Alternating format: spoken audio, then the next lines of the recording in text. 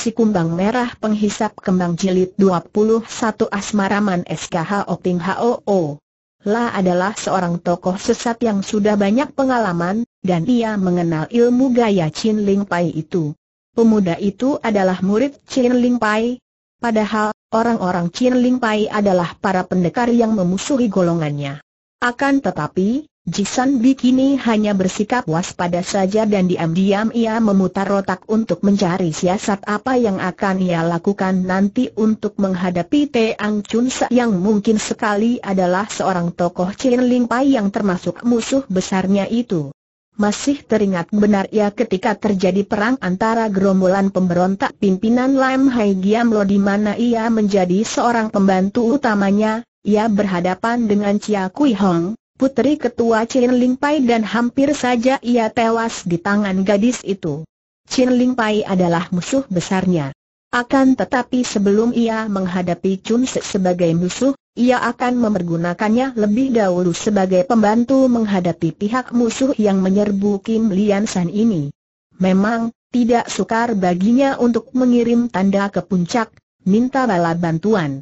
Akan tetapi ia merasa malu kepada Sim Ki Leong, Ketua Kim Lian Pai kalau untuk menghadapi pengacau-pengacau itu ia harus minta bantuan Seng Ketua. Tepat seperti yang diduga dan diharapkan oleh Ji Sanbi, pedang Hang Chu Kiam di tangan Chun Sa membuat raksasa berwok itu menjadi kalang kabut dan terdesak hebat setelah lewat 30 jurus saja, Hek Tok Pang Cucu Wibok hanya mampu menangkis saja, tidak mampu lagi menggunakan goloknya untuk balas menyerang. Bahkan dia pun tidak sempat mempergunakan tangan kiri untuk melakukan serangan dengan senjata rahasianya. Demikian hebatnya gulungan sinar emas itu mendesaknya. Akan tetapi, Chun Sak memang tidak ingin membunuh ketua Hek Tok Pang ini. Dia sudah mengambil keputusan untuk bekerja sama dengan Tok Sim Moli, dan dia tahu bahwa orang seperti ketua Hek Tok Pang ini bersama anak buahnya akan merupakan pembantu yang amat berguna. Hai tiba-tiba Chun Sa merubah ilmu pedangnya dan dia mengeluarkan sebuah jurus dari Siang Bok Kiam Sut, ilmu pedang yang amat hebat dan langka dari Chen Ling Pai. Ilmu ini sebenarnya merupakan ilmu simpanan, dan untung bagi Chun Sa dia sempat mempelajari beberapa jurus pilihan ilmu pedang itu dari kakek Chia Kong Liang yang menjanjikan bahwa kalau dia sampai dapat menjadi ketua Chen Ling Pai, barulah dia berhak mempelajari seluruh ilmu pedang ini. Namun, jurus yang dikeluarkan itu sudah lebih dari cukup. Terdengar suara nyaring ketika golok besar itu terlepas dari tangan ketua Hek Topang. Cui Bok, ketua itu mengeluarkan seruan kaget dan tangan kirinya memegang tangan kanan yang luka berdarah tergores ujung pedang lawan merupakan guratan memanjang sampai ke siku, dan lengan bajunya juga robek. Pada saat itu, Chun Se sudah menodongkan pedangnya ke dadanya, membuatnya tidak berdaya sama sekali. Nah, Pang Chu, ku harap engkau mengerti bahwa di antara kita tidak ada permusuhan. Kim Lian Pai bermaksud baik. Beberapa orang anggotamu telah tewas di tangan Toa Nio, Nyonya, ini, akan tetapi engkau sudah membalas dengan membunuh sepuluh anggota Kim Lian Pai, Berarti engkau tidak kehilangan muka dan sudah tidak ada perhitungan lagi, bukan? Sekarang, kalau engkau mau menyatakan tunduk kepada Kim Lian Pai, aku akan menganggap engkau sebagai sahabat dan tidak akan membunuhmu, Cui Bok tolol. Baik, orang-orang mempunyai. Biarpun kasar, namun dia bukan seorang yang aku maklum bahwa aku berhadapan dengan yang jauh lebih pandai. Kalau Kim Lian Pai banyak pembantu seliai engkau, sudah sepatutnya kalau Hak Topang berlindung di bawah pengaruh dan kekuasaannya. Aku menyerah. Hayo, kalian lepaskan senjata kalian dan berlutut 24 orang anggota Hek Topang itu melepaskan golok mereka dan semua berlutut tanda menyerah. Melihat ini, tiga orang dari KWI San menjadi marah sekali. Bagus kiranya Hek Tok Pang Cucu Wibo hanyalah seorang pangecut besar teriak Giam San dan bersama dua orang sutainya, dia sudah mencabut senjatanya dan mereka bertiga berloncatan ke depan. Akan tetapi kami bertiga menuntut balas atas kematian sute kami. Teo Ke Sim Moli, Majulah engkau untuk menerima kematian di tangan kami Tok Sim Moli Ji Bi mengerling ke arah Chun Sek.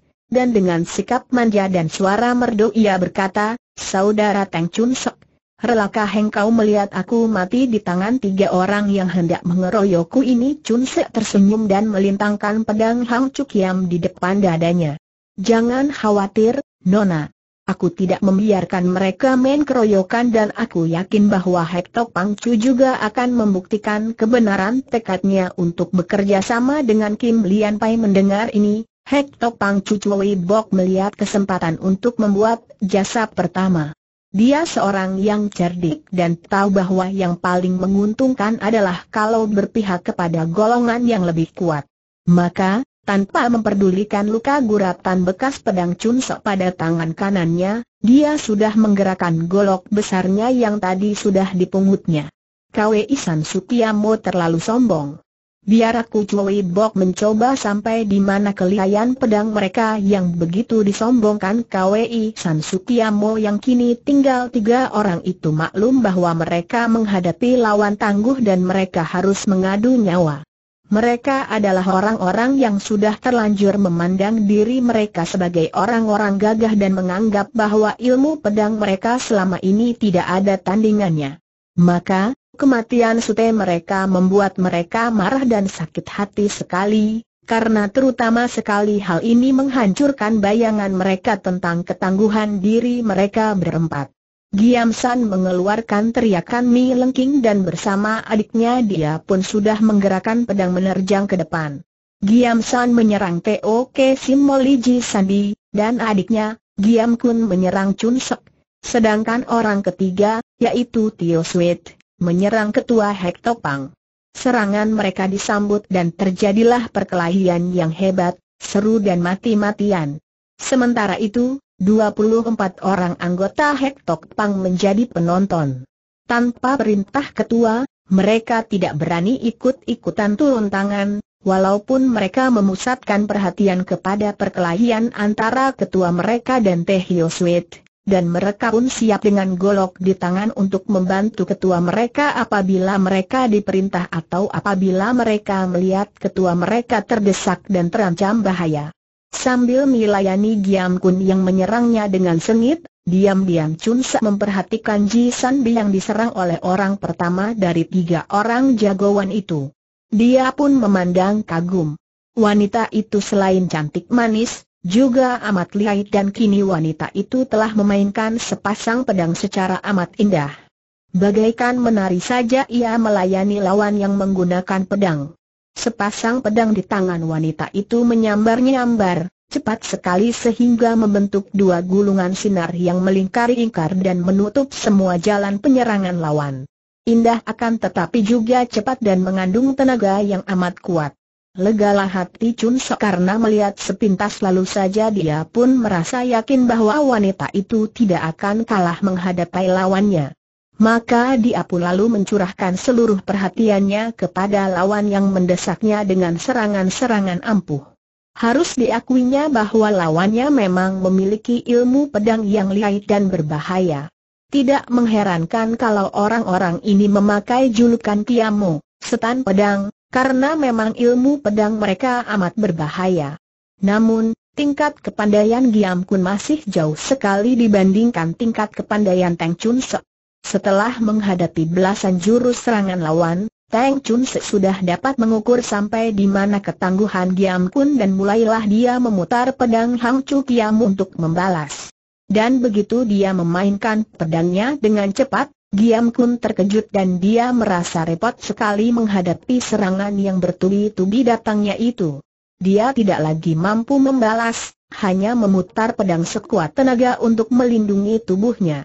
Ketika Chun Sa melirik untuk melihat keadaan Ji Sandi, ternyata wanita itu pun sudah mendesak lawannya yang terhuyung-huyung. Chun Sa tersenyum dan dia pun tidak mau kalah. Dia harus dapat memperlihatkan kepandaiannya dan jangan sampai dikalahkan oleh wanita yang menarik hatinya itu. Dia pun mempercepat gerakan pedangnya. Terdengar teriakan beruntun dan Chun Sa secepat kilat mencabut pedangnya yang tadi menancap di dada lawan, hampir berbareng dengan gerakan pedang Ji San Bi yang juga mencabut pedangnya dari leher lawannya. Mereka itu secara berbareng saling memutar badan dan saling pandang, keduanya tersenyum melihat bahwa perlumbaan itu ternyata berakhir dengan tiada yang lebih cepat atau lebih lambat. Mereka merobohkan lawan dalam detik yang sama. Kini tinggallah Tio Surit yang masih bertanding melawan ketua Hek Topang. Ternyata tingkat kepandaian mereka seimbang walaupun Hekto Pang cucu Wibok mulai mendesaknya. Melihat betapa kedua orang suhengnya telah roboh, tentu saja Tio Suyit menjadi terkejut, berduka akan tetapi juga gentar sekali. Dia maklum bahwa dia tidak mungkin dapat menyelamatkan dirinya, maka dengan nekat dia lalu melawan terus. Kenekatannya inilah yang membuat dia menjadi lawan yang tangguh. Melihat betapa Hektok Pangcu bersungguh-sungguh melawan Tio Sweet, hati Ji Sandi sudah merasa girang bukan main. Orang ini boleh dipercaya dan boleh diharapkan untuk menghadapi tokoh Chin Ling Pai itu, pikirnya. Tiba-tiba ia menggerakkan tangan kirinya dan sinar halus yang hitam menyambar ke arah dua orang yang sedang berkelahi itu. Tio Suyit mengeluarkan seruan lirih dan dia terhuyung. Pada saat itu, Ujung golok di tangan Cui Bok mengenai pundaknya dan dia pun roboh dan dalam waktu beberapa detik saja tubuhnya berubah hitam dan dia pun tewas seketika. Golok besar itu mengandung racun yang amat hebat. Kini tiba-tiba Jisan Dwi merubah sikapnya yang tadi tersenyum-senyum kepada Chun Sek. Pangcu, bantu aku menangkap Mat Mat ini. Dia seorang pendekar tokoh Chin Ling Pai, musuh golongan kita mendengar ini, Hek Tok Pang cucu Wibo terkejut sekali, akan tetapi dia segera meloncat ke dekat Chun Sa sambil menodongkan golok besarnya sambil memberi isyarat kepada 24 orang anak buahnya. Mereka itu segera mengepung Chun Sa. Sedangkan Ji Sandi sendiri berdiri di samping Cui Bok, sepasang pedangnya di tangan dan ia memandang kepada Chun Sa yang terheran-heran itu dengan senyum mengejek. Wah, saudara Teng Chun Sa, tidak perlu lagi engkau berpura-pura. Engkau seorang tokoh Chin Ling Pai, katakan apa maksudmu datang ke tempat kami ini. Apakah engkau datang sebagai mata-mata, sebagai musuh? Katakan terus terang sebelum kami turun tangan karena aku tidak akan segan membunuhmu sebagai seorang murid Chin Ling Pai yang selama ini menjadi musuh besar kami. Tentu saja Teng Chun Sa terkejut bukan main melihat perubahan ini. Namun, dia amat cerdik dan sebentar saja otaknya yang bekerja cepat, itu sudah dapat memaklumi keadaan, dan dia dapat menduga apa yang menyebabkan wanita cantik itu kini berbalik memusuhinya. Tentu Tok Sim Molly Ji Sanbi ini pernah bermusuhan dengan pihak Chin Ling Pai dan tadi, ketika dia mengeluarkan pedang Hang Chu Kiam dan memainkan ilmu silat. Chin Ling Pai, Wanita cantik itu mengenalnya dan tidak mengherankan kalau wanita itu menaruh curiga kepadanya. Tang Chun Sa tertawa. Hahaha, kiranya T.O.K. Simbol Ji Sanbi yang cantik jelita dan liai, tidak mampu mengenal sahabat dan juga masih belum terlalu cerdik sehingga tidak mampu membedakan mana kawan mana lawan. Hahaha Ji Sanbi mengerutkan alisnya dan sepasang matanya yang jeli itu berkilat, akan tetapi ia masih belum tersenyum. Tang Chun Sek, apa alasannya engkau menganggap aku tidak mengenal sahabat dan tidak cerdik pertama, sesudah aku membantu menarik Hektok Pang menjadi sekutu dan membunuh tiga orang musuh yang hendak membunuhmu ini, engkau masih mencurigaiku. Ini namanya tidak mampu mengenal sahabat. Dan kedua, kalau benar aku ini Met-Metu Chin Ling Pai dan hendak memusuhimu, Bukankah kesempatanku amat baik tadi dengan membantu mereka mengeroyokmu? Apa kau kira akan mampu menandingi kami kalau aku tadi membantu mereka? Nah, bukankah itu menunjukkan bahwa engkau kurang cerdik dan salah menilai orang kini Ji Sandi tersenyum dan mengangguk-angguk lalu menoleh kepada Hektok Pangcu Cui Bok dan berkata lembut, Pangcu, mundurlah dan kita harus dapat percaya keterangannya itu, Ketua Hektok Pang itu pun mengangguk-angguk dan memberi isyarat kepada 24 orang anak buahnya untuk mundur. Jisan bilalu menghampiri Chun Sek. Sejenak mereka saling pandang dan keduanya saling kagum. Tang Chun Sek, Keteranganmu tadi memang dapat kami terima, akan tetapi untuk lebih meyakinkan hati kami sebelum engkau kami hadapkan kepada pangcu kami, ceritakanlah mengapa engkau yang memiliki ilmu silat Chin Ling Pai dan memegang pedang pusaka Chin Ling Pai, tiba-tiba saja kini berpihak kepada kami sebetulnya Chun segan menceritakan riwayatnya, akan tetapi dia maklum bahwa kerjasama dengan orang-orang seperti mereka itu merupakan suatu keuntungan baginya, terutama sekali akan memudahkan dia untuk mencari dan menemukan ayah kandungnya, yaitu Ang Hang Chu. Apalagi yang berada di situ hanyalah Jisan Bi dan Cui Bok, sedangkan para anak buah Hektok Pang sudah disuruh menjauhkan diri.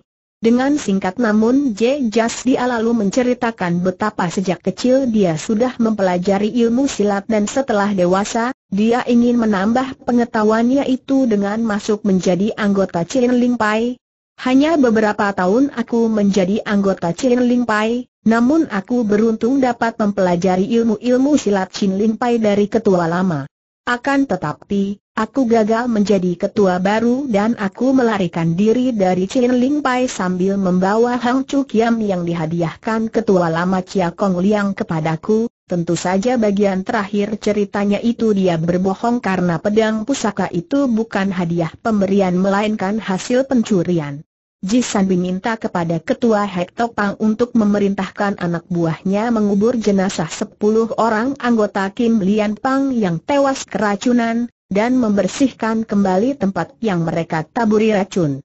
Setelah itu, maka Jisan Bi menjadi petunjuk jalan dan mereka pun naik ke puncak Kim Lian San. Dalam perjalanan ini, barulah orang-orang Hek Topang Mi lihat betapa besar bahayanya kalau mereka menyerbu ke atas. Perjalanan itu mengandung banyak sekali tempat rahasia, jebakan-jebakan yang mengerikan. Tanpa petunjuk jalan, sebelum tiba di puncak, mereka semua tentu akan menjadi korban perangkap yang banyak dipasang di sepanjang jalan menuju ke puncak. Bahkan Hektok Pang Cucuwi Bok sendiri bergidik dan diam-diam dia girang bahwa dia telah dikalahkan oleh Teng Chun sehingga dia menaluk. Apalagi ketika banyak anggota Kim Lian Pang mulai menyambut, berjajar di sepanjang jalan, laki-laki dan wanita-wanita yang kesemuanya berwajah tampan dan cantik, bersikap gagah dan jumlah mereka tidak kurang dari 50 orang. Baru kemudian dia tahu bahwa jumlah anggota Kim Lian Pang berjumlah 100 orang lebih, sebagian ada yang bertugas di bawah gunung dan tersebar ke kota-kota dan dusun-dusun sekitar daerah itu bertugas sebagai mata-mata.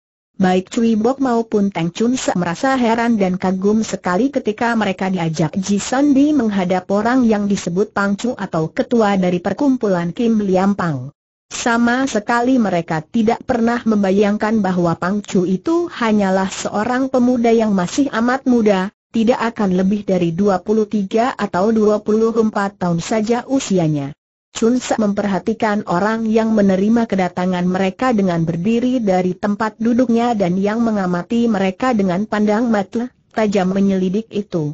Dia seorang pria muda yang bertubuh sedang, gerak-geriknya halus dan sopan, pakaiannya seperti seorang terpelajar, wajahnya tampan dan sepasang matanya mencorong penuh wibawa. Jisambi segera memperkenalkan dua orang tamu itu setelah dia memberi bisikan kepada Cui Bok agar memerintahkan anak buahnya yang ikut memasuki ruangan luas itu berlutut semua. Sambil tersenyum Ji Bi mendekati ketua Kim Lian Pang yang menjadi rekan, kekasih, juga ketuanya itu dan ia sendiri menjabat wakil ketua. Pang Chu, dia itulah Hektok Pang Cucuwi Bok yang sudah menaluk kepada kita dan membawa 24 orang anak buahnya menaluk dan siap untuk bekerja sama dengan kita. Orang muda tampan itu memandang kepada Cuwi Bok dengan sinar mata penuh selidik, alisnya berkerut dan dia berkata dengan halus, Hem, aku mendengar bahwa 10 orang anak buah kita tewas karena racun yang disebarkan mereka di Anggiam Teang Chun merasa kagum. Kiranya peristiwa di lereng tadi telah diketahui oleh ketua ini, tentu ada mata-mata yang melapor lebih dahulu ke atas sebelum mereka tiba di es itu. Benar, mereka tewas karena kurang waspada, jawab Ji Sandi. Biarpun bagi Cui Bok, keadaan ketua Kim Lian Pang itu kurang meyakinkan, hanya seorang muda yang nampaknya tidak begitu hebat, namun mengingat bahwa pemuda itu adalah ketua Kim Lian Pang dan Tok Sim Moli yang demikian lihainya hanya menjadi pembantunya, dia pun tidak berani memandang rendah. Saya Hek Tok Pang Cu Cui Bok menghadap Pang Cu dari Kim Lian Pang dan saya bersedia untuk bekerja sama dengan Kim Lian Pang katanya sambil memberi hormat. Hem. Kim Lian Pang Chu Sim Kiliong tersenyum dingin, namun suaranya terdengar halus ketika dia berkata kepada Cui Bok yang bertubuh tinggi besar dan wajahnya berwuk menyeramkan itu. Hek Tok Pang Chu, Penyerahan diri dan kerjasama membutuhkan kesetiaan dan kesetiaan haruslah dibuktikan. Anak buahmu telah membunuh sepuluh orang anak buah Kim Lian Pang, padahal Eng Chi Ji hanya membunuh tujuh orang anak buah Hek Pang. Dengan demikian, Hek Tzu Pang masih berhutang tiga nyawa kepada Kim Lian Pang. Nah, apa yang akan kau lakukan untuk membuktikan kesetiaanmu mendengar pertanyaan ini? Wajah yang kasar penuh berwok itu berubah menjadi pucat, lalu merah padam dan matanya terbelalak. Cui Bok tahu apa yang dimaksudkan ketua Kim Lian Pang yang masih sangat muda itu dan dia merasa penasaran. Bagaimanapun juga, kalau ketuanya hanya seorang pemuda ingusan seperti ini, dia harus melihat bukti dulu bahwa ketua yang amat muda ini pantas untuk menjadi atasannya sebelum dia melaksanakan segala perintahnya. Dia pun tertawa bergelak. Hahaha, sungguh tuntutan yang wajar dari seorang ketua besar sebuah perkumpulan yang besar pula. Akan tetapi, Pangcu, bagaimanapun juga, saya juga harus melihat bukti bahwa Pangcu adalah seorang yang pantas untuk saya taati. Mohon petunjuk katanya dan pria tinggi besar ini segera memasang kuda-kuda, tidak mencabut senjata karena dia maklum bahwa dia berada di sarang harimau dan kedudukannya amat berbahaya. Dia hanya ingin menguji kelihayan ketua yang amat muda itu, lain tidak. Dia sama sekali tidak ingin menentang, karena dia sudah takluk kepada orang muda yang membantu Tok Sim Moli tadi. Mendengar ucapan ketua Hek Pang itu, Sim Kiliong tersenyum dan wajahnya yang tampan itu nampak cerdik dan licik sekali. Tang Chun Sak memandang dengan hati tegang akan tetapi juga gembira. Ketua yang masih muda itu tadi hanya memandang acuh saja kepadanya, dan kini ketua itu ditantang atau diuji oleh Cui Bo. Suatu kesempatan baik baginya untuk melihat sendiri sampai di mana kelihayan ketua ini. Dia sudah mengukur kepandaian Cui Bok, dan dari perlawanan ketua itu terhadap Cui Bok, dia akan dapat mengukur sampai di mana kelihayannya. Kalau Mi lihat betapa Tok Sim Moli, yang tadi dia lihat pula kehebatannya, hanya menjadi pembantu ketua Kim Lian Pang, maka dapat diduga bahwa kepandaian ketua yang masih amat muda ini tentu hebat bukan main. Sim Kiliong tersenyum bangkit dari kursinya melihat Cui Bok sudah siap siaga di tengah ruangan yang luas itu. Para anak buah Hek Topang yang masih berlutut juga semua memandang dengan hati tegang. Mereka setuju dengan sikap ketua mereka. Kalau hendak menalu kepada seseorang, maka mereka harus melihat sendiri bagaimana lihainya orang itu. Cui Pangcu, permintaan wajar pula. Aku akan membuktikan bahwa aku memang patut kau taati. Nah, mulailah katanya dan dia berdiri seenaknya saja di depan Cui Bok yang bertubuh kokoh kekar itu, Berbeda dengan tubuh Sim Kiliong yang sedang saja sehingga nampak kecil lemah di depan raksasa itu. Cui Bok tidak membuang waktu lagi, lalu tiba-tiba dia mengeluarkan suara mengaum seperti singa, disusul bentakannya, Kim Lian Pangcu, lihat seranganku tubuhnya menerjang dengan dahsyatnya, kedua tangannya membentuk cakar singa, kuku jari-jari tangannya nampak menghitam tanda bahwa kuku itu mengandung racun yang amat berbahaya. Sekali terkena goretan kuku hitam itu akan mengakibatkan luka melepuh yang sukar disembuhkan kalau tidak memakai obat pemunah racun buatan ketua Hektok Pang itu. Namun, serangan bertubi yang berupa cakaran-cakaran dan cengkeraman itu dengan mudah dapat dihindarkan oleh Sim Ki Leong, hanya dengan gerakan kedua kakinya saja, Kemudian dia membalas dengan tamparan lembut namun mengandung tenaga yang dahsyat sehingga hampir saja pundak ketua Hek Topang terkena tamparan. Biarpun luput, hanya menyerempet sedikit saja, namun cukup membuat Cui Bo terhuyung.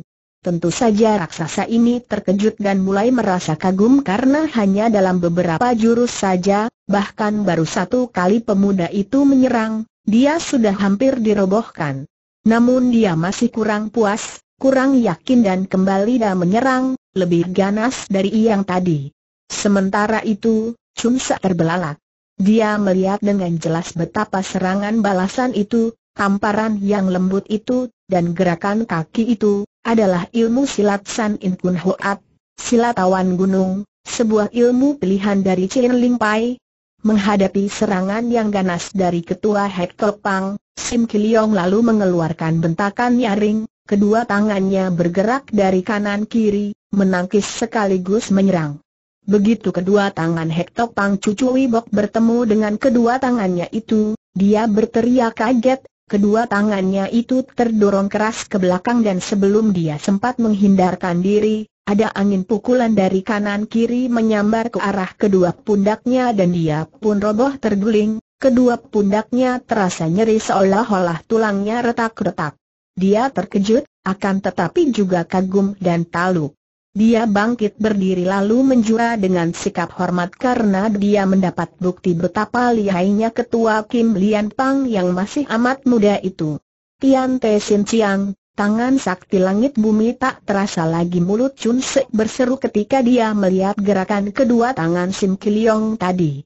Mendengar ini, Kiliong cepat membalik dan sepasang matanya mencorong, memandang ke arah Chun Sek. Akan tetapi pada saat itu Cui Bok sudah berkata dengan suara kagum titik. Biarpun masih amat muda, ternyata Kim Lian Pangcu sungguh memiliki kepandaian yang amat hebat.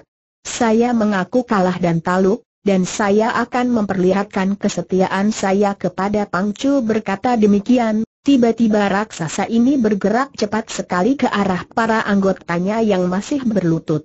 Terdengar teriakan berturut-turut dan empat orang anak buahnya roboh dan tewas dengan muka menghitam. Mereka telah diserang dengan cakaran maut oleh ketua mereka sendiri. Yang menjadi korban adalah dua orang yang tadi terluka oleh Chun Sek, dan dua orang lain yang tingkatannya paling rendah dalam hektopang. Semua anak buah Hektopang terkejut dan ketakutan, akan tetapi hati mereka lega ketika ketua mereka tidak menyerang lagi. Cui Bok lalu mengangkat kedua tangan ke depan dada sambil menghadap Sim Kiliong. Nah, Pangcu. Itulah bukti kesetiaan kami.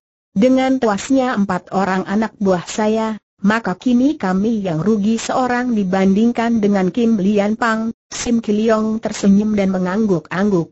Bagus, engkau memang pantas untuk kami terima sebagai sekutu dan pembantu. Cui Pangcu dia lalu bertepuk tangan menyuruh pengawal atau anak buahnya untuk menyingkirkan empat mayat itu, dan menyuruh anak buahnya untuk menjamu para anggota Hek Topang yang kini tinggal 20 orang itu. Kemudian ia menyuruh para pelayan untuk menambah arak dan mengeluarkan hidangan untuk menyambut Cui Bok pada saat itulah dia memandang kepada Chun Sa dan bertanya kepada Ji San Bi. Siapakah dia ini yang mengenal Tian Te Sin Chiang Ji San Bi tersenyum. Tadi belum sempat aku memperkenalkan dia. Tentu saja dia mengenal ilmu silatmu yang berasal dari Chen Ling Pai, Pang Chu, karena dia adalah seorang tokoh Chin Ling Pai Eh Sim Kilong terkejut sekali, akan tetapi dengan sikap gagah dia tidak memperlihatkan kekagetannya, melainkan matanya saja yang memandang tajam kepada Chun Sek. Kini mengandung kecurigaan. Mau apa seorang tokoh Chin Ling Pai datang ke sini? Pertanyaan ini mengandung terguran kepada Ji Bi. Sebelum Ji Bi menjawab, Chun Sek mendahuluinya. Maaf, Pang Chu. Aku tidak sengaja datang ke sini melainkan diajak oleh Tok Sim Moli untuk diperkenalkan kepada Pang Chu. Mendengar ini Ji Sanbi tersenyum, dan cepat dia menjelaskan. Pang Chu, ketahuilah bahwa ketika aku turun dari puncak untuk menghadapi Hek Tok Pang, aku diperingatkan akan lorong beracun yang dibuat Hek Tok Pang oleh saudara Teng Chun seini. Bukan itu saja, bahkan dialah yang menundukkan dan menaklukkan Hektor Pangcu, dan dia membantu pula ketika aku dikeroyok oleh tiga orang dari Kuisan Sukyamo. Melihat kelihayannya dan mengenal gerakan silatnya dan pedangnya yang jelas dari Chin Ling Pai, tadinya aku pun curiga dan terkejut. Akan tetapi setelah dia menceritakan keadaannya, Kupikir sebaiknya kalau dia kuajak ke sini agar berkenalan dengan Pangcu. Bagaimanapun juga, kepandaian Pangcu dan dia datang dari satu sumber, bukan Sim Kiliong mulai tertarik dan diakini memandang kepada Chun Sok penuh perhatian, namun kecurigaannya sudah menipis. Saudara Teng Chun Sok, terus terang saja, Chin Ling Pai kami anggap sebagai musuh kami. Maka, harap kau jelaskan mengapa engkau tidak memusuhi kami, bahkan ingin berkenalan denganku, Chun Sak menarik napas panjang, tidak aku sangkal bahwa aku adalah seorang murid Chin Ling Pai, bahkan aku mewarisi ilmu-ilmu Chin Ling Pai dari ketua lama Chia Kong Liang sendiri. Akan tetapi, ketika aku gagal untuk menjadi ketua Chin Ling Pai yang baru, maka kuanggap Chin Ling Pai sebagai musuh. Aku melarikan diri dari sana dan biarpun banyak ilmu dari sana ku kuasai, namun aku tidak menganggap diriku sebagai seorang Chin Ling Pai. Chun Sa mengepalkan tinju, masih mendongkol kalau mengingat kekalahannya di Chin Ling Pai. Demikianlah keadaanku, Pang Chu. Oleh karena itu, Pang Chu tidak perlu khawatir, aku bukan seorang anggota Chin Ling Pai lagi, bahkan aku pun membenci Chin Ling Pai, Aku melarikan diri dari Chin Ling Pai, dan dalam perjalanan untuk mencari jejak ayahku yang sejak dalam kandungan belum pernah ku melihatnya. Kebetulan aku lewat di bawah bukit dan melihat rombongan orang Hek Tok Pang, lalu aku membayangi mereka dan ku bantu Tok Sim Moli, Sim Kiliong mengangguk-angguk, kalau engkau gagal menjadi ketua Chin Ling Pai, lalu siapa yang menjadi ketuanya yang baru dengan suara gemas Chun Sa menjawab, Gadis liar itu, Tia Kui Hang mendengar ini, Sim Kiliong terbelalak memandang, kemudian dia tertawa bergelak. Lenyaplah sikap lembut dan sopan ketika dia tertawa dengan mulut terbuka, lalu mulut itu ditutup sehingga suara ketawanya hanya sampai di tenggorokan. Hahaha, hihihek, Tia Kui Hong. Ia menjadi ketua Chin Ling Pai dia tertawa lagi. Darah itu yang telah menggagalkan Mohem, C.J. Kui Hong, lagi-lagi gadis setan itu yang menjadi penghalang. Ia musuh kita bersama kata pula Ji San Bi dengan gemas. Kini Teng Chun yang memandang dengan sinar mata heran kepada dua orang itu. Tentu saja dia tidak tahu betapa Sim Kajel Leong juga sampai terlempar keluar dari pulau teratai merah tempat tinggal gurunya, yaitu pendekar sadis Cheng Tian Sin, gara-gara kedatangan Chia Kui Hong, cucu luar pendekar sakti itu. Sedangkan Ji San Bi tentu saja tidak pernah dapat melupakan pengalaman pahitnya ketika ia membantu gerakan mendiang Lam Ai Giam Lo dan ketika gerombolan pemberontak itu diserbu para pendekar, ia sendiri bertanding melawan Chia Kui Hang dan hampir saja ia tewas ketika ia terjatuh ke dalam tebing. Pangcu, apakah Hengka sudah mengenal Chia Kui Hang tanya Chun Sek? Kiliong masih tertawa dan Ji San Bi yang menjawab tentu saja kenal baik. Cia Kui Hang itu masih terhitung murid keponakannya Chun Se terbelalak bingung. Pemuda ini, usianya masih begitu muda dan menjadi paman guru Kui Hong. Paman guru dari mana? Tak mungkin pemuda ini murid kakek Chia Kong Liang pula. Melihat kebingungan tamu itu, kini Kelilong yang melanjutkan keterangan Sandi. Ketahuilah, Teng To Ako, Aku adalah murid pendekar sadis Cheng Tianxin di Pulau Teratai Merah Ah. Sungguh hal ini sama sekali tidak pernah disangka oleh Chun Sek. Tentu saja dia tahu siapa itu pendekar sadis. Dan dia pun mengerti sekarang. Memang, Kui Hang adalah cucu pendekar sadis, cucu luar, maka kalau pemuda ini murid pendekar sadis, memang Kui Hang dapat dianggap sebagai murid keponakannya.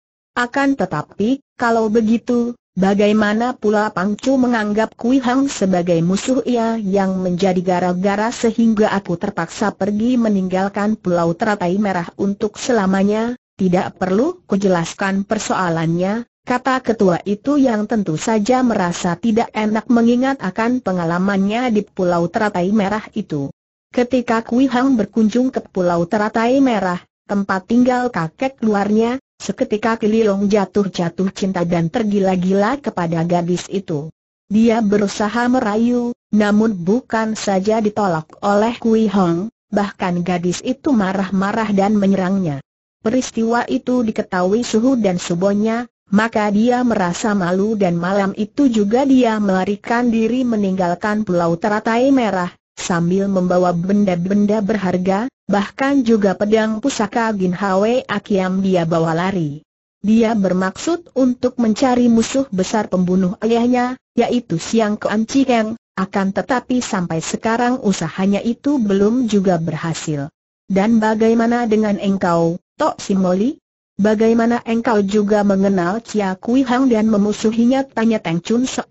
Merasa girang mendengar keterangan ketua itu yang ternyata murid pendekar sadis sehingga dia tidak merasa heran kalau ketua itu memiliki ilmu kepandaian yang demikian hebat.